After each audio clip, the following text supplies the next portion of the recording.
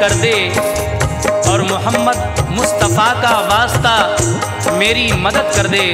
जब उस गूँगे इंसान ने परवरदिगार से ये दुआ की, लेकिन एक रोज़ एक शख्स उसको क्या मशवरा दे रहा है, समाप्त करें हजरात। कहा, एक रोज उससे एक बशर ने बात सुन मेरी न कर तू फ़िक्र किस्मत जागने वाली है, अब तेरी सिला मिल जाएगा तेरे लिए। अब तेरे मकसद का गुजरने वाला है, इस राह से लश्कर मोहम्मद का। अली शेर खुदा भी साथ उसके आने वाले हैं। खबर पाई महाजे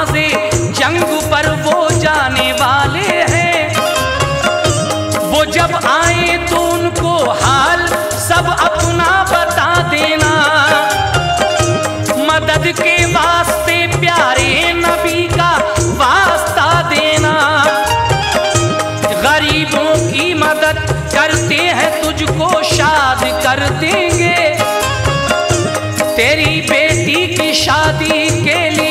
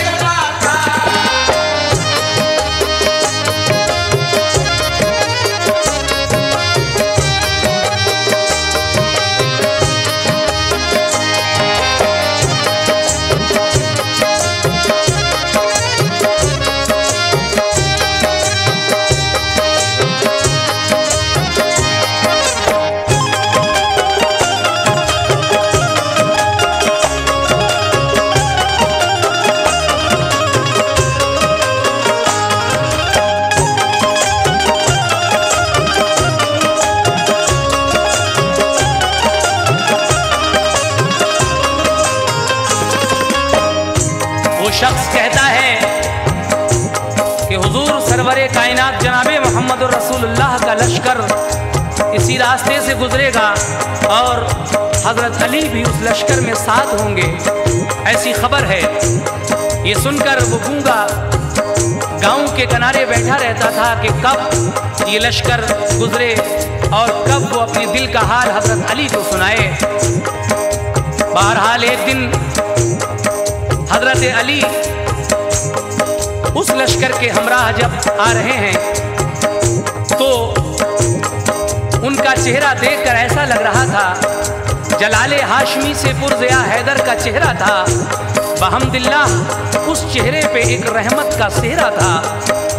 हज़रत अली पर जिस घड़ी उस गूँगे की नज़र पड़ी तो वो ज़ोर से चिल्लाता है, लेकिन उसके चिल्लाने की आवाज़ हज़रत अली तक नहीं पहुँचती है। जब हज़रत अली उसकी आवाज़ को नहीं सुन पाते हैं तो वो गूँगा, क्या करता है? समाज कीजिए। अली को जिस घड़ी गूँगे ने देखा तो वो चिल्लाया। गया वो पीछे पीछे हाल अपना कह नहीं पाया। अली थे ऊँट पर, झोंके हवा के सरसराते थे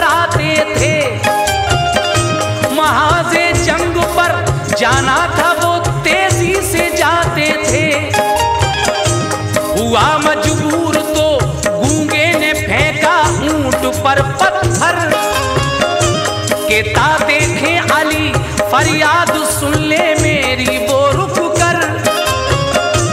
मगर पत्थर लगा हज़रत अली के फ़र्क अकदस पर। जो निकला खून सर से तो वहीं पर रुक गया लश्कर। सामीन हजरात, जब गूँगे की आवाज़ हज़रत अली तक नहीं पहुँचती तो वो गूँगा एक पत्थर उठाकर हज़रत अली के ऊँट की तरफ़ फेंकता है और वो पत्थर ऊँट के ना लग कर के सीधे हज़रत अली के लग जाता है और आपके सर से जब खून निकलता है तो लश्कर वहीं रुक जाता है और सब लोग अपनी अपनी सवारी से उतरकर तलवार खींच लेते हैं उस गूँगे के ऊपर। लेकिन हज़रत अली की क्या शान है?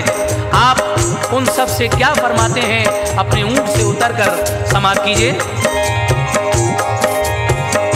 सवारी से उतर कर खींच ली तलवार लोगों ने। अली ने उनको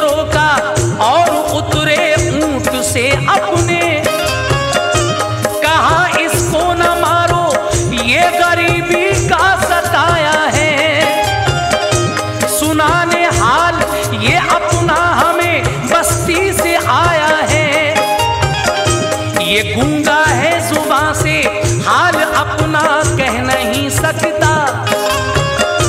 है बेटी इसकी शादी को नहीं है पास एक पैसा। लगा पत्थर हमारे ऊँट पर, वो इसने फेंका था? कि तार रुक जाए तो मैं कुछ कहूँ, इसका ये मंशा था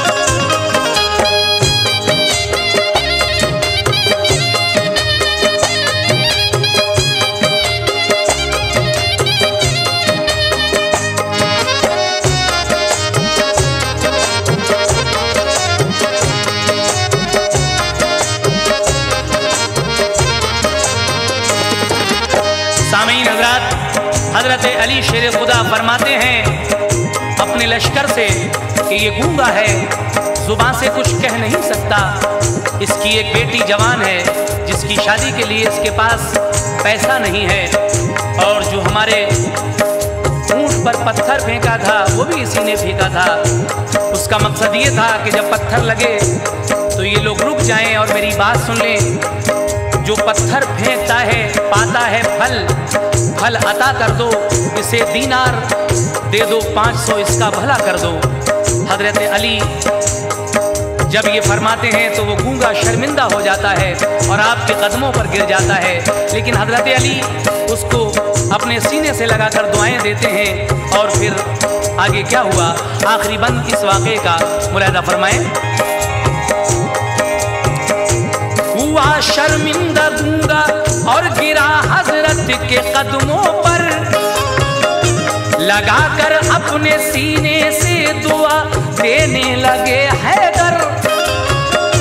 कहा आका ने पत्थर खा के ताइफ में दुआ दी है? रसूल अल्लाह की हमने वही सुन्नत अदा की है।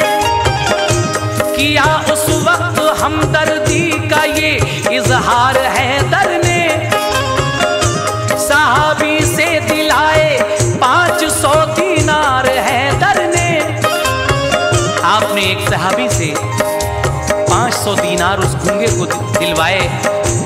और फिर क्या हुआ? सखावत है निराली आपकी सारे जमाने से, के उस गूँगे बशर का भर दिया दामन खजान।